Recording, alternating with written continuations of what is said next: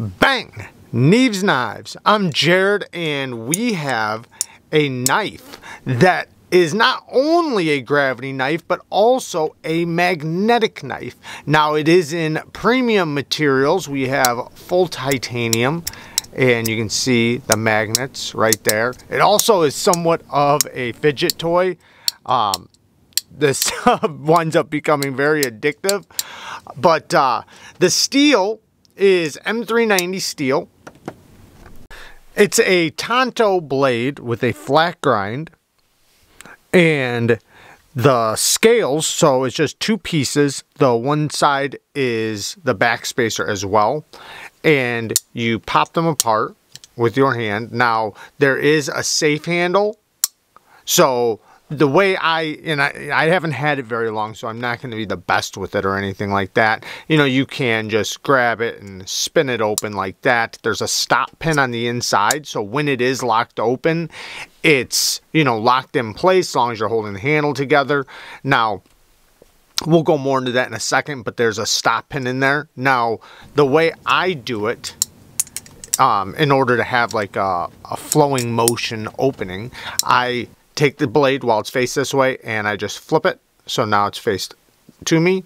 So now that it's facing towards me, I just pop it that way. And now this is going to be my safe handle because when I swing this way, the blade can't go this way. Only the handle can hit me. And then when I spin it back this way, now the blade, the spine of the blade can only hit me. So now I can swing it back similar to a ballad balisong. And then when I want to close it, I do the same thing just in reverse. It's kind of hard to do under the camera right here. Let's see if I can do it a little bit better, but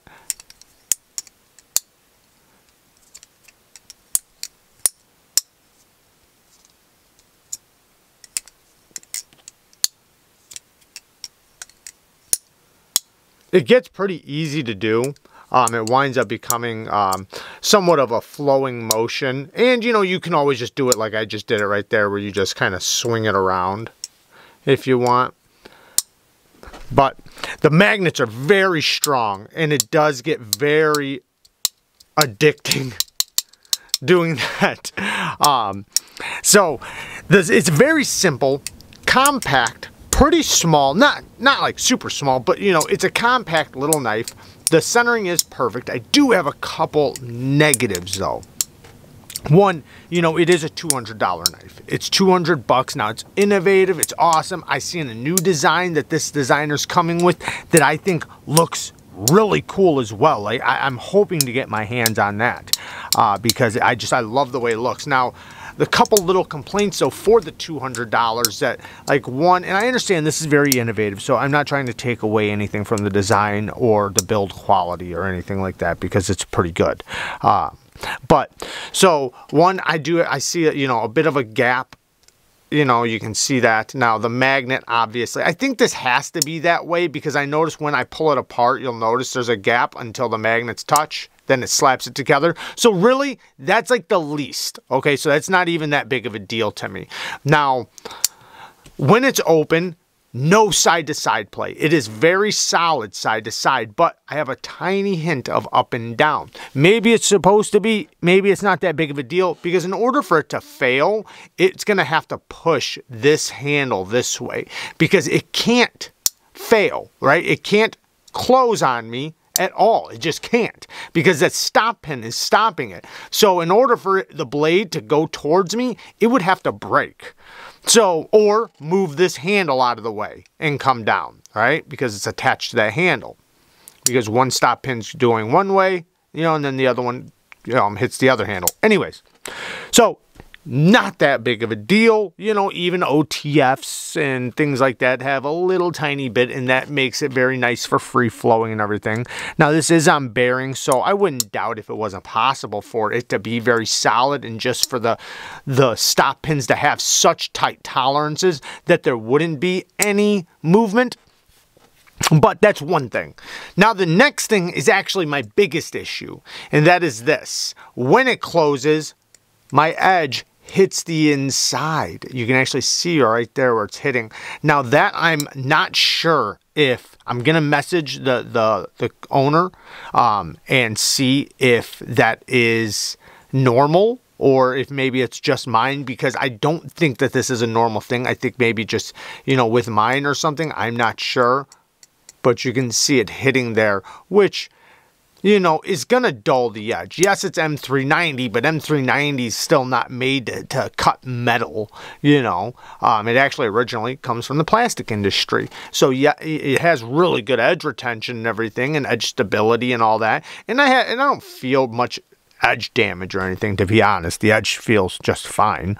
Um, but, you know, if I did lower back my edge angle and I put a nice super keen fresh edge on there, you know, I'd hate to chip it. But um, you know, in reality, it's, you know, with the edge angle that's on there, I don't see it really hurting it that bad, but if I lowered back the edge angle, that's when those possibilities could come when the edge is maybe a little bit slicier and a little bit more fragile.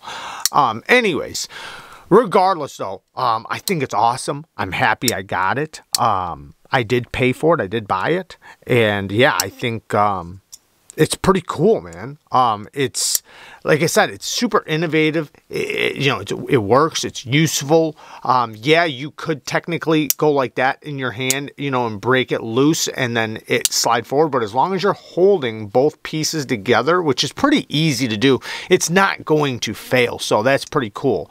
Now, the um the machining and milling and everything is pretty good but you know it's pretty simple. And i think maybe it just being you know such a new innovative design and maybe not being thought of too much before and it just not being done by so many companies that you know maybe there might be a couple little tweaks that could be done um that or maybe were done. And like i said maybe this one just happens to be one that wasn't uh wasn't the best. And you know, I just got that luck. That, and that's, you know, that happens, you know. Um, like I said, I'm still very happy with it. I think it's still extremely well done. And I do want to make sure I say that, you know, there is, like I said, another one coming. Um, these are supposed to have more dropping in November. I think they're sold out. I think I was lucky enough to get the last one. Um, but uh, I think they're going to come back in November, but there's another design that he's doing. Super pumped about that because I love these little cool, innovative knives that are just super unique and just different. You know, you don't see things like it ever. And um, like I said, it's somewhat of a fidget toy. But anyways, I don't want to beat a dead horse. Um, the one thing I do wish, though, I'll be honest, one thing I wish we had a clip. Um, I, you know, because if it was in my pocket, it can't really open you know, and if this did pop open, you know, like this handle would have to fall in my pocket, especially with the blade facing this way. So I would love to see a clip. Um, at the very least, maybe a slip or something so you could slip it in a slip, but I'd way rather see a clip. Anyways, that's just me though, because, you know, I like carrying on a clip. So, but love you guys. Thank you guys for watching. Peace.